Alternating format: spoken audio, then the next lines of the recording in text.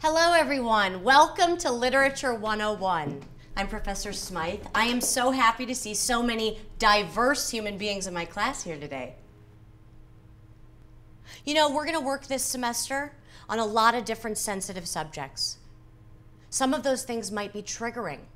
Who can tell me what the word triggering means? Okay, that's okay. College is for learning new things and also for protecting you from those things, right?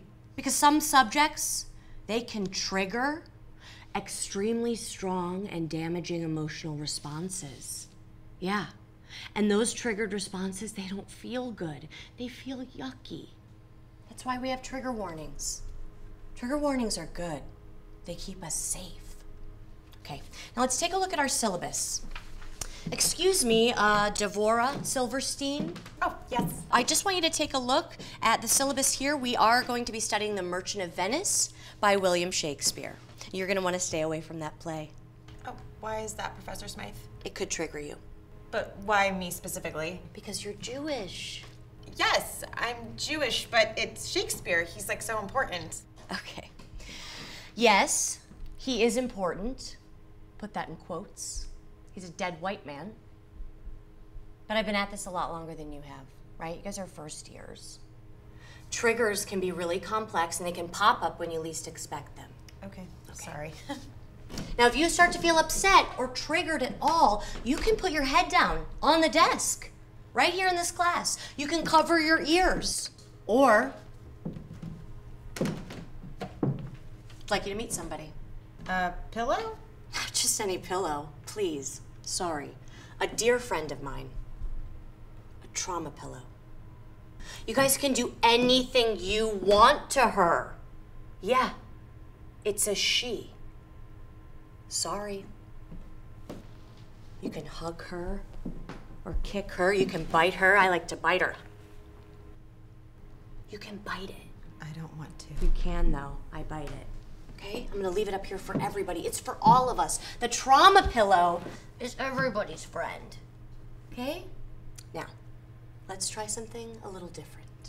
Desks are oppressive. This feels much safer. Uh, I see that The Great Gatsby is on the syllabus, and I actually read that in high school. I am so sorry, Anthony. The Great Gatsby is a very triggering novel. Well, I, I didn't find it triggering at all. Even the brutal depictions of World War One. You mean where the narrator mentions that Gatsby served in World War One? Just mentioning it, it's so triggering. well, I'm actually a veteran, and I served two tours of duty in Afghanistan. So you actually know firsthand how traumatic it can be to be reading a book and then boom, a sentence about war explodes on the page. It's nothing compared to actual combat. And perhaps that's a discussion we could have Sure. if it wasn't so triggering. So, you do or you don't want to have the discussion? Anthony, now your hostility is triggering me. Oh, well, I, I mean, I didn't think I was being hostile. I'm just talking. In fact, I think if anyone's triggering someone, it's you. Okay, well, the trauma pillow is telling us a different story. This is ridiculous. Poor Anthony. So young, so triggered. How's everybody else? I also read The Great Gatsby in high school. So Bet you didn't like it, did you, Julio? no, actually, I really liked it. It's probably my favorite book.